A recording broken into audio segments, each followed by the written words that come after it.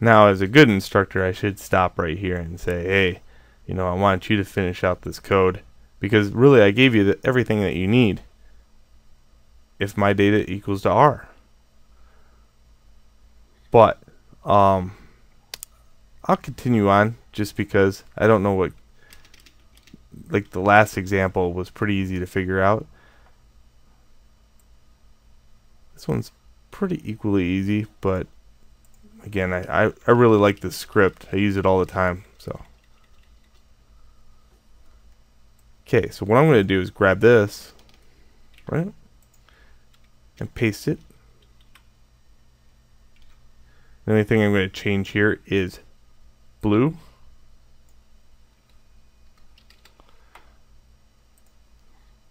B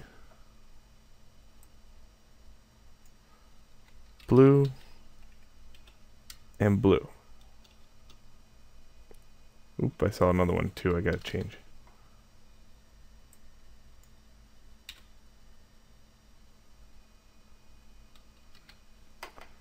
Doesn't matter what order these are in because these are in the code.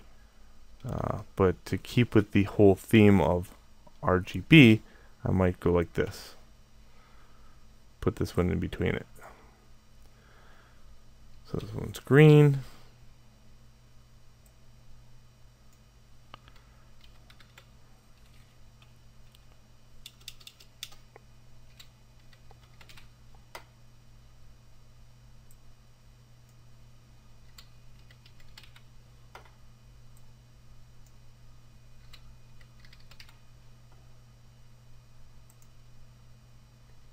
Perfect.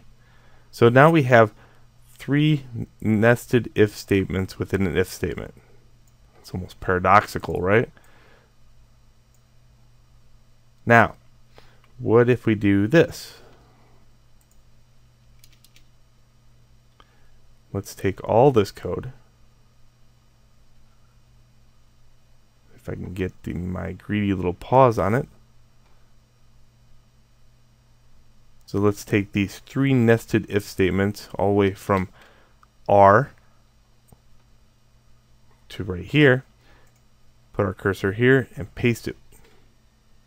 What if we say minus 10?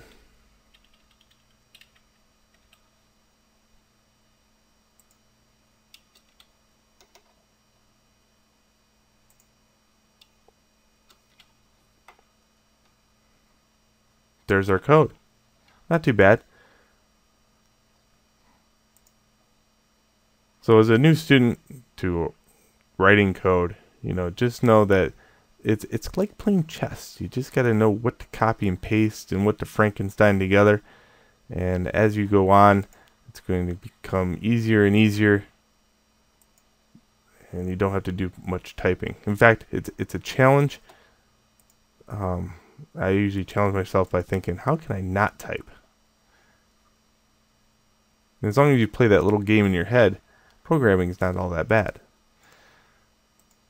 Okay, let's see what we got. Uh, let's move, I'll move this over here.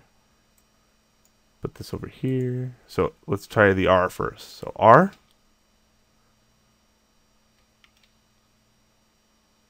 Okay, it's blinking, but it's not like staying on. And you notice that um, the values of 10 keep are going away every time. Alright, so there's something in the code that I forgot to mention. So if R is here and R is also subtracting, that would be bad, right? We don't want R here for the last one. We want E, which is right next to R. And we don't want G, we want F. And then lastly, not B, but V. So those are the, the last three inputs of the keyboard for the negative 10.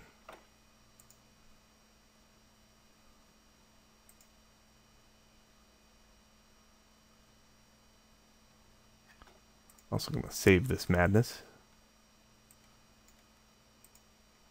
Okay, let's move that over there again. Try it one more time. So R Yay, it stays. E. Turns it off. R, R. E, E. Good. So G. Sweet. F, F. Good. Okay. Blue, blue, V, V. Sweet. Everything works. So R, R, B, B will equal some kind of purple. If we add green to the mix, it starts becoming white light. So values that go across, let's say I had 20, 20, 20, right? We have supposedly perfect white light. But if you did some experiments on it, you find that it's not quite there yet. Very cool stuff. So if we ever needed to make like like an analog write statement, let's say I needed to make a purple LED. Well, technically, um, I can get it to purple. Let's say it's 20, 20, 20 0, 20, and I can write an analog write statement just like this.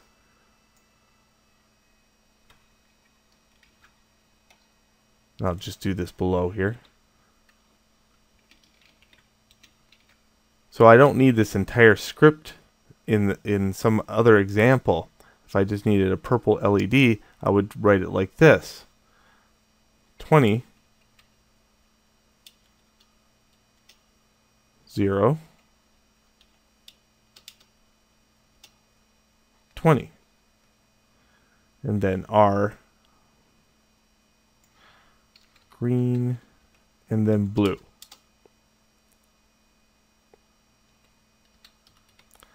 So this script is useful to make other scripts. And I would just write that out as long as everything hardware-wise was hooked up. Yeah.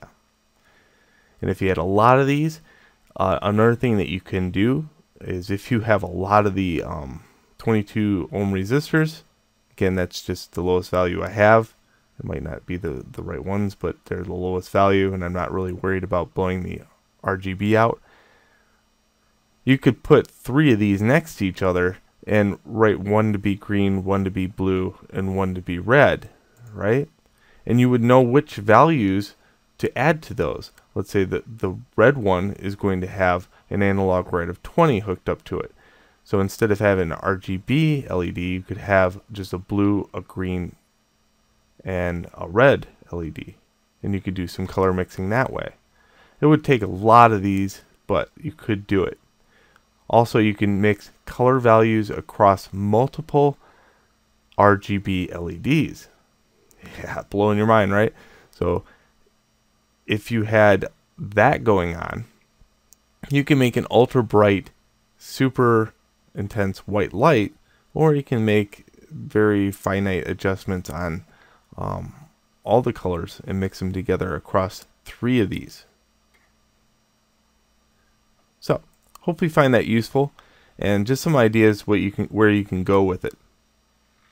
Try challenging yourself and thinking about the color of light in the morning and the color light at night.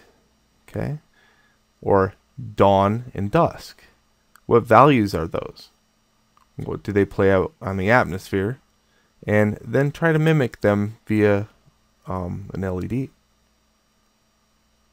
Alright, I hope you enjoyed, and I'll see you in the next video where we now start to look at writing a third-party application uh, to change the values of RGB uh, without using this over here.